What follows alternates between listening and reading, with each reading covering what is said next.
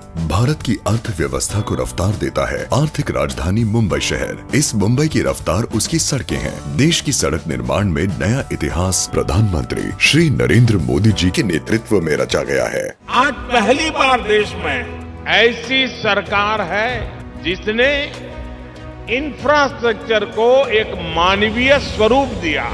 Infrastructure का एक ऐसा ह्यूमन टच जो आज हर किसी के जीवन को स्पर्श कर रहा है। ऐसे दूरदर्शी माननीय प्रधानमंत्री श्री नरेंद्र मोदी जी के कर कमलों से आज मुंबई में छह हज़ार उनासी करोड़ रुपए की लागत से तीन सौ सतानवे किलोमीटर लंबाई की सड़कों का कॉन्क्रीटीकरण का काम शुरू होने जा रहा है। मुंबई में 2050 किलोमीटर लंबी सड़कें हैं, जिनमें से 990 किलोमीटर लंबी सड़कों का कॉन्क्रीटीकरण अब तक हुआ है और 265 किलोमीटर लंबी सड़कों का कॉन्क्रीटीकरण काम चल रहा है। लेकिन बची हुई 850 किलोमीटर सड़कें भारी यातायात, हर साल मूसलाधार बारिश से होने वाले जल भराव और उससे बनने वाले गड्ढों की समस्या से जूझती है और यातायात में अवरोध पैदा होता है। विषय की गंभीरता को समझते हुए महाराष्ट्र के माननीय मुख्यमंत्री श्री एक शिंदे जी और माननीय उप मुख्यमंत्री श्री देवेंद्र फडणवीस जी की सरकार ने ठोस कदम उठाए हैं। मुंबई में सड़क कॉन्क्रीटीकरण को अब रफ्तार दी गई है।